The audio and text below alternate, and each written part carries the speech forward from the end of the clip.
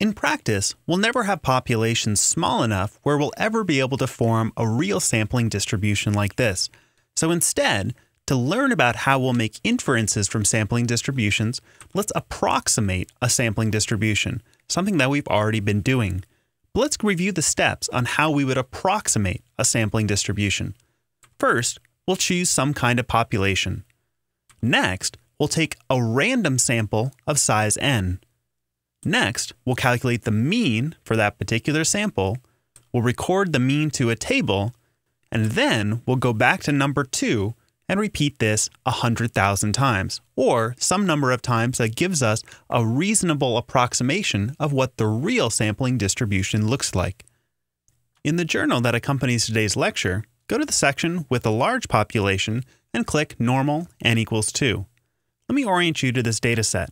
We again have a column that's going to take the mean of one observation and another observation. Now these observations won't be drawn from a binomial, and they won't be drawn from that simple distribution with values of 1 to 10. Instead, these observations will be drawn from an infinite population that is normally distributed, one with the properties of the IQ distribution, that is, a mean of 100 and a standard deviation of 15. Let me show you how I'm doing this. I'll right click observation 1 and go to formula. And what I'm using in this formula is the random normal function, which returns a value from the z distribution, that is, a distribution with a mean of 0 and a standard deviation of 1. And then what I'm doing is multiplying that value by 15 and adding back 100. This is that formula we used to go from a z-score to an x-score. Now, so you know, the random normal function can actually take on the arguments of a mean and a standard deviation, but I wanted to do it this way so you can see that this is the same thing we were doing when converting a z-score to an x-score. So, every row in this dataset will get a random draw from a population that's centered at 100 with a standard deviation of 15. Now, observation 1 and 2 both do this, but they're independent, that is, whatever observation I get on observation 1 has nothing to do with the observation I get for observation 2. They are independent. So, just like we do with any independent observations, we can think of their joint probability as simply being the products. Now, so we have a little bit of something to rest this on, something physical.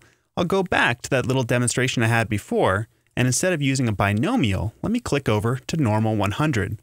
Now, this little block is taking on the same properties as our observations.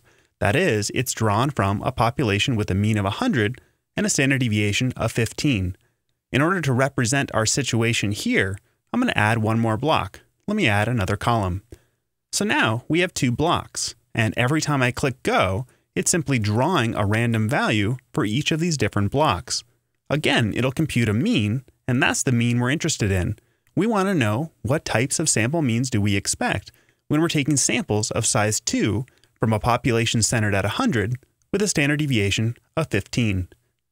Now, also like before, I don't want to click this button 100,000 times and record this value to a dataset. That's simply going to take too long.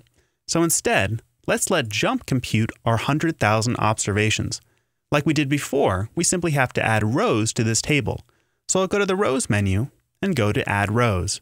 Here, I'll type in 100,000. When I click OK, JMP will compute the 100,000 observations for observation 1, observation 2, and for each of the different samples. Remember, each sample here is a row. We'll find a sample mean. Let's take a look at the observation 1s, 2s, and sample means we obtained. To do this, I'll go to the Analyze menu and select Distribution.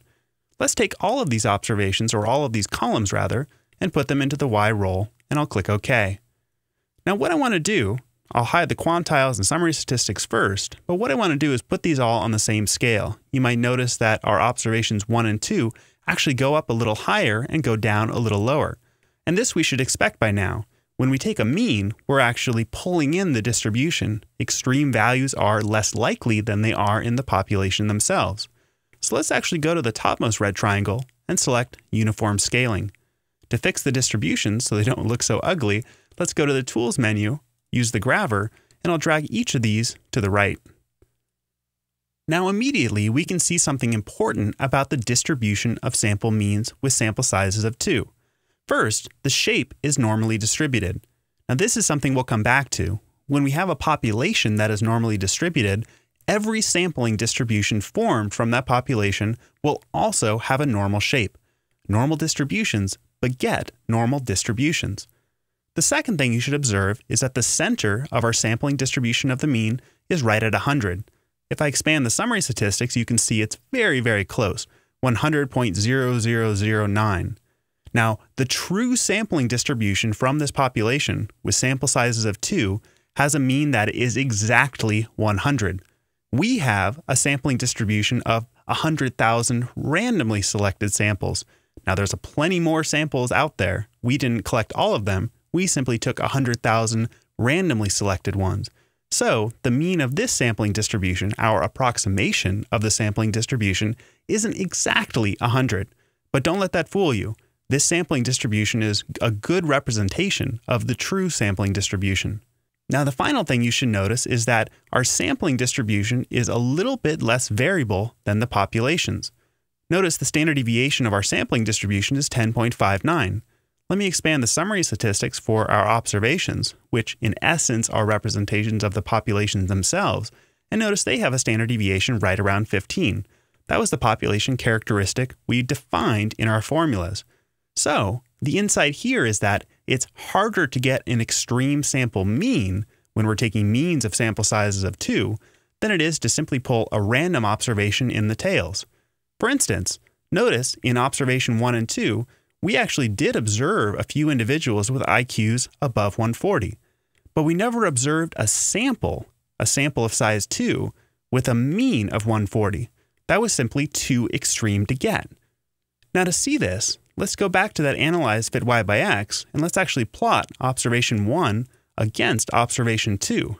In this way, we can see what it would take to get a mean that is very extreme. When I click OK, we're going to get a big mess of data points.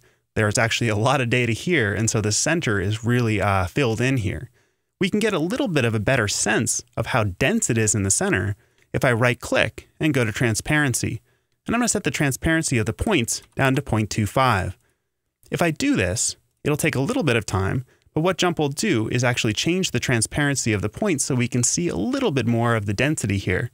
It's still a very dense area in the middle. Most of the samples, most of the observations are right here in the center, and those reflect the sample means that are fairly central. But notice what it would take for us to get an extreme sample mean, where we'd have to get an observation in this bivariate plot. For instance, if I wanted to get a very low sample mean, something down here at 60 or 70, let me go back to the bivariate.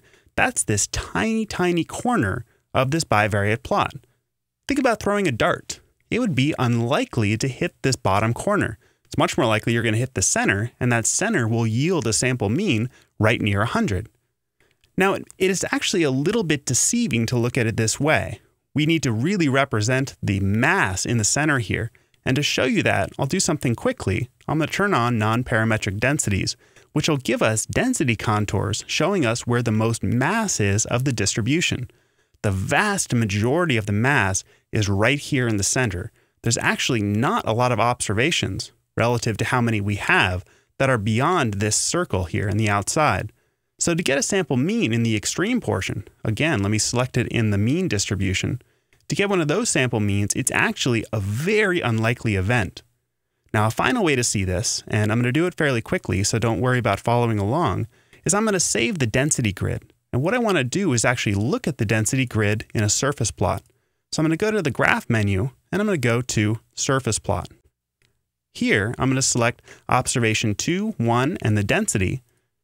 And once I get this output, I'm going to turn on a surface. And actually, maybe I'll turn on a mesh to make it a little cleaner.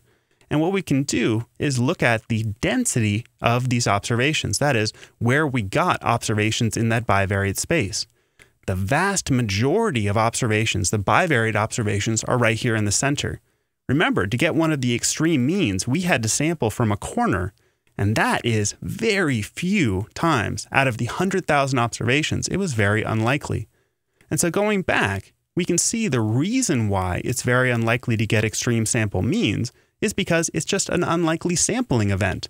If we get an observation for the first person who's down at 60, Well, it's very likely on the second observation we're going to get somebody towards the center. That will always balance out the sample mean. And so, even with samples of size 2, it's already becoming unlikely to get extreme sample means, something we'll see as we get larger and larger samples.